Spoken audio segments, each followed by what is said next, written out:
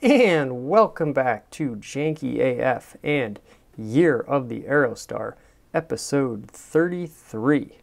Well, we have another fine Aerostar for you today.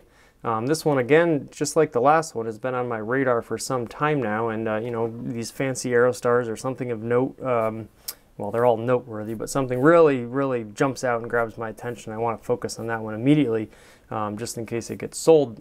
This one has been hanging out for a long time and uh, we've never talked about it, so I thought we should talk about it today. And uh, coincidentally, I already had my blue shirt on, so it was a little bit more convenient to just keep my blue shirt on. And that is a good lead in to you all to, to give you a little hint or preview of what this is going to be. So, we have a 1993 Ford Aerostar window minivan listed in Alta Vista, Virginia for just $2,000. That's a nice name, isn't it? Alta Vista. Uh, I believe that was a, a, search engine or a browser back in the day, was it not? Now, I think there are maybe several Alta Vistas, but this one happens to be in Virginia. So, uh, I noticed this one, the price has gone down quite a bit since they were first selling it. And uh, I don't remember exactly what it was, but let's say it's on the, uh, the clearance rack or the bargain shelf right now. Uh, about this vehicle, driven 99,999 miles. If that's the true mileage, that's quite amazing, and you could be the person to take it over 100,000. Automatic transmission, exterior blue, interior gray, fuel type is gasoline. Now they have this miles per gallon, which I believe you know, is um, sort of put in by the algorithm, but 17 city, 23 highway for 19 combined. That sounds about right. I think Aerostars probably get around 20 miles to the gallon in, in the real world. It says it's a one owner, and it is paid off. Description, this is a doozy project van, okay? Um, and just by the pictures kind of looking at it, you can tell it may indeed uh, be a project van. We see the rear bumper is entire, entirely missing here. Take a nice look at that. Um, so, we are current working on fixing it up to sell as a work or family van. I'm sure they mean currently, but uh, that's okay. The engine has been recently rebuilt and the transmission is new as well. So a lot of work gone into it right off the bat body has around 110k, we think, and the engine was rebuilt 100k miles, at 100k miles, I'm guessing, and transmission transmission was replaced at the same time as the engine. It's a good running van, just not so aesthetically pleasing. Well, I of course beg to differ on that one. I think Aerostars are you could drop them off a cliff and they'd still be aesthetically pleasing to me. Once we finish with it, the only issue will be the windshield. It's broke and the metal is a little bent. Pretty easy fix, but we don't have the tools for it. Okay, so you can see it's a project. Feel free to message with questions or offers. If someone offers to buy it as is, I'm willing to lower the price. Also forgot to mention we have all the seats front and rear. We just took them out to clean the carpet. Well, that was nice. I appreciate that. It's a lot, a lot of effort's gone into this van, you know? Um, I don't know if they were trying to flip it or if they just real mechanically inclined. They want to take on a project, but boy, I mean, an engine rebuild and a new transmission right there, that's, uh, you know, probably worth the price of entry at $2,000. Now your windshield. And, and, I don't know if they said metal is bent. That sounds like a little bit of a hairy operation, but you know, maybe you could buy it, get get it insured, and then uh, you know, once it's got coverage, you could you know pull the whole uh, "I hit a deer" situation. You know. Um, I should tell this story very briefly as an aside. A good friend of mine, and shout out to uh, Shiftacular, had a, a great green Chevy Blazer growing up when we were in high school I believe they hit a, a, patch of ice or something and swung around the vehicle, and uh, the rear hatch of the vehicle was damaged or broken. So they, they, you know, went end ass in into a tree or something like that, and they claimed to the insurance company that they they hit a deer, so that a deer somehow came up behind them and jumped into the back of the vehicle, directly into the back, not the side, but directly into the back glass of the vehicle and broke it. and I believe the, the claim went through somehow. I believe they got it fixed. So that was just an aside, neither here nor there. Um, update 32422. Shown by the updated pictures, the inside has been cleaned up a bit, showing how the floor is going to look once we install the hardwood, currently fixing the radio wiring and brainstorming a fix for the roof lining. Well, good luck with that. I've had to deal with quite a few headliners recently, and they are not my uh, favorite thing to do. I, in my 1995 LeSabre, I was quoted $400 to replace the headliner, which I, I, you know, in all things being equal, I probably should have just bit the bullet and paid that, but I decided to try to create a duct tape headliner, which failed, and then I tried to rip out just the, the outer cloth. I ended up getting into the, you know, this almost like fiberglass type insulation, very itchy, pain in the butt take out took all that out, but it wasn't coming out evenly. So then it ended up just ripping the whole thing out, and now it's bare metal. And if you see the bare metal roof of a car, especially from the 90s, there's all sorts of weird like caulking and a lot of surface rust inexplicably. I don't know how much moisture was getting in there. Anyways, I got to sand it down and paint it and all that, but you can check all the Buick content out on Janky AF if you'd like. So I imagine that you would have to brainstorm a lot if you wanted to come up for an alternative solution for a headliner. But something about headliners just kind of grinds my gears because I feel like they fail so often that it's something that the automotive industry needs to find a better solution for. Now, in my 2002 Jetta, which you can also check out on Janky AF, I ended up it was a little easier. I took all the, you know, the the cloth and the foam and stuff, and there's just this nice sort of like plastic shell. Really cool how they just stamp it in one piece and it has all the covers for the lights and whatnot. And, I, and that was kind of a, a, bear to take out. But once I got it out, it was just like a nice one piece simple shell. So I've gone ahead and painted that, and that'll be coming soon to Janky AF.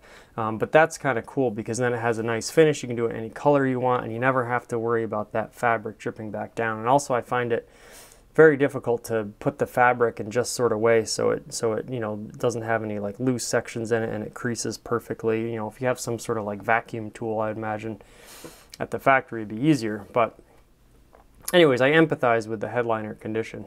So let's get into some photos. First thing we'll notice, I do like this dark blue color quite a bit. Um, it's a, it's sort of like the utility Aerostar, you know, your fleet Aerostar color, but it has this lovely white uh, dual pinstripe going down the side here, which I think is very, very tasteful. I also love, now I can't tell if these are hubcaps or, or alloy wheels. I believe they're hubcaps, but they look very similar to alloy wheels. Um, and I love that you can't even really see much of the wheel under it. They do a good job at sort of hiding that and they almost look metal. They just have that metal sheen to them.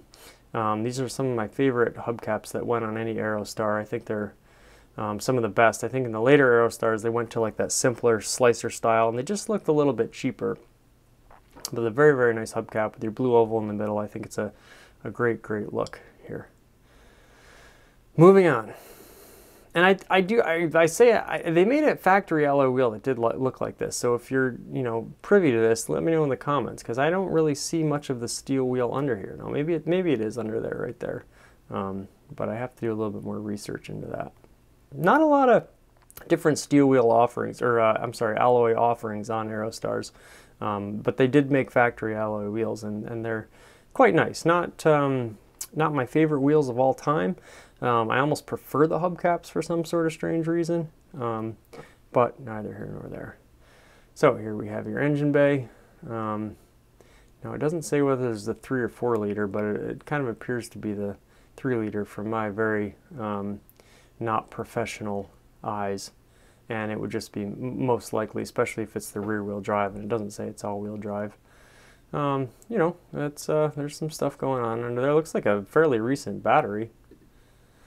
All right, so this is obviously in a covered carport, which is nice, and you can see the lack of a windshield designating it as a project car. You can also see the headliner ripped out there, and it looks like most of the interior paneling has been generally ripped out there. So it looks like they are kind of turned this into some sort of camper vehicle, and they talked about that with the hardwood floors. Um, and that's probably a good bet too, just for your target audience. Um, most, someone most likely will use this as a um, as a cargo or overlanding type vehicle if I had to guess. Now this is pretty great. You have Billy Craft Honda. I'm not sure why that's on an Aerostar, and I'm also not sure why it is upside down. but I kind of like it. I would probably leave it if I bought the car just because it's, you know, it's always nice to carry on the legacy of the previous owners in your car and keep that continuity of narrative going. So I would probably leave that on. I do absolutely love these uh, blue bumpers. They have quite a bit of gloss to them. Of course, body match bumpers I love on an Aerostar, and they have this sort of metal stripping that I was talking about in my last video that I, I believe was on earlier Aerostars, but I haven't really been able to find any true consistency on if that's true or not. It's really too bad that the rear one isn't on there because this would look absolutely beaming with a, a full extended length blue uh, gloss bumper with your little chrome inserts here. 93, of course, a very good year for Aerostars. I happen to have a 1993 Aerostar, one of my favorite years. Just sort of like the number. Oh, looks like, you know, I never noticed this before. Now it looks like they've taken one of the sliding doors off because it has a fairly sizable dent in it and they've put on a red sliding door. So that's awesome. I love mismatched body panels on cars. It's like peak janky.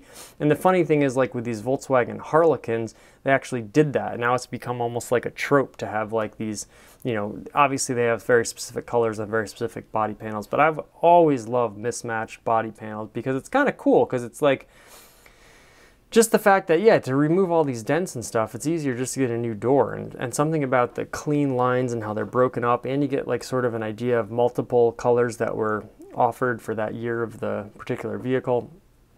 I don't know i just love it. I love everything about it. Plus you can tell that the vehicle's been sort of continued on or cared for. Like you know this vehicle all that was wrong with it. Most people would scrap a vehicle like this. So i love that someone is fixing this vehicle up and is uh, you know trying to do right by it and trying to um, you know, keep it going, keep it on the road. So I love this bright red door on this blue body. It's just perfect. And also it's like, it's like a moving piece too. So you get to see it sort of in action uh, on the Aerostar dancing around there and uh, weaving in with the other colors. Really, really like that. You can see this like, like wood uh, flooring that's gone in here.